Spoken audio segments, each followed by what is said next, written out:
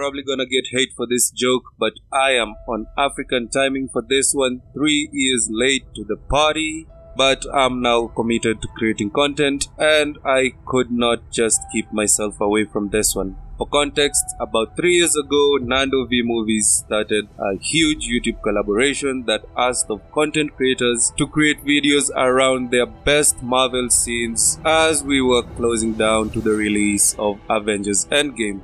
It's a really cool playlist. If you haven't seen the videos on there, you should definitely check it out.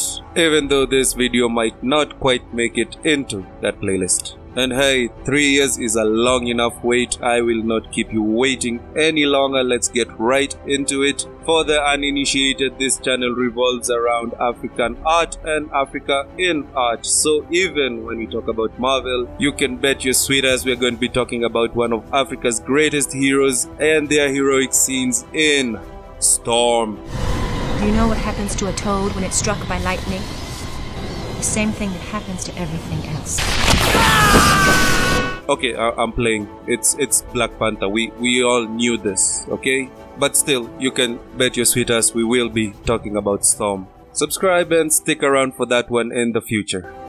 Now, the case of the great and charismatic Chadwick Boseman, who plays our very own King T'Challa in the Black Panther, is a very special one.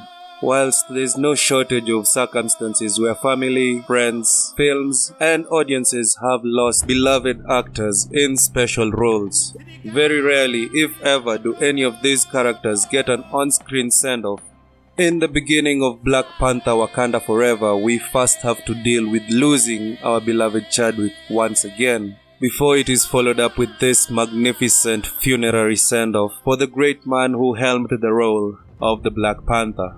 And calling it magnificent is really selling it short. No words can actually describe what this scene means to audiences, what this scene means to the cast, and what this scene means to his family.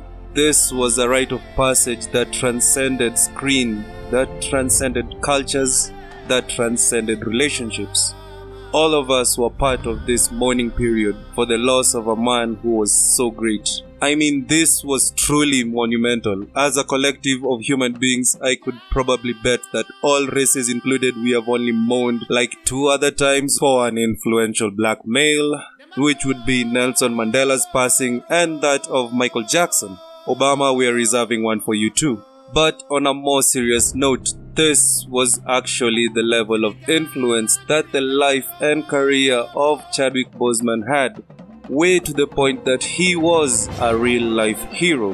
And this scene in Black Panther Wakanda Forever immortalizes the feelings and the emotions of all the people who worked with him, who had a relation with him, and for the audience members to share in the life of this king. Stand up. You are a king.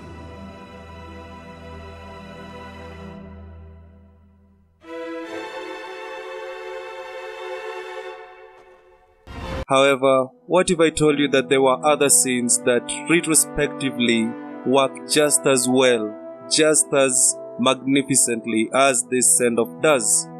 And for that, we can only look to 2018's Black Panther.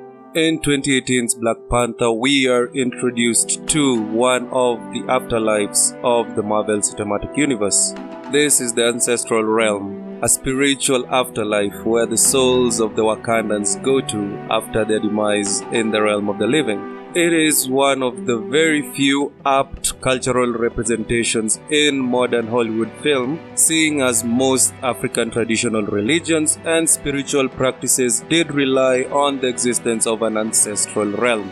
In our first introduction to this realm, we are simply passers-by, visitors as a consequence of the ingestion of the heart-shaped herb following the completion of the initiation process after challenge day. And knowing that this visit is temporary, he wants to stay longer to continue seeing his father, whom he lost being unable to protect. And in this case, we are ripped away from the afterlife mid conversation. However, the second time we visit this same location, it does look a little bit brighter and a little bit more welcoming. This is because, as King T'Chaka says, it is time for King T'Challa to join them in the afterlife. The time has come for you to come home and be reunited with me. A notion which he refuses, for he claims his work is not yet done in the realm of the living. For the first time, he looks into the eyes of the ancestors and he calls them out for creating what Killmonger has become. In this scene, our king claims that he cannot rest in the afterlife when the world is in this state of incompletion. And this 99 second scene, these 99 seconds of filmmaking retrospectively pay so much homage to Chadwick Boseman, not just the Black Panther, but Chadwick Boseman himself. A man who stayed strong for us all, one who never gave up until he had righted all the wrongs that he felt he had an obligation, a responsibility to do.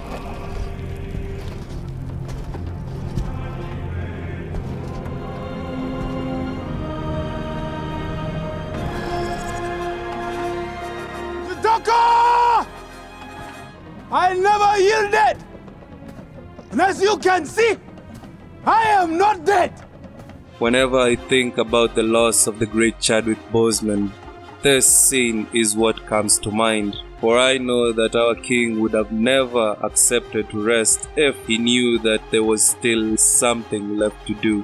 And now that our king is no longer with us, then it can only mean one thing that now he is truly at rest, that right now he is easy and at peace with what he has accomplished in life. Rest easy, King. The generations you have left behind will take up the mantle, and we surely cannot wait to see you on the other side, great ancestor. Who? Who are you?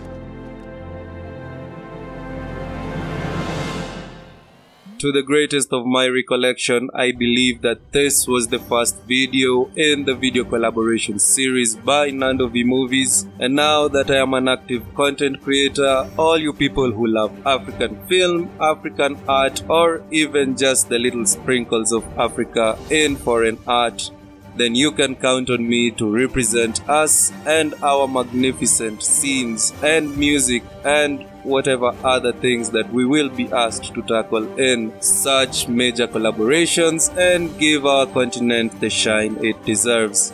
Till then, it's been your soon to be favorite uncle, Uncle Omari, and I hope to see you all in the next one.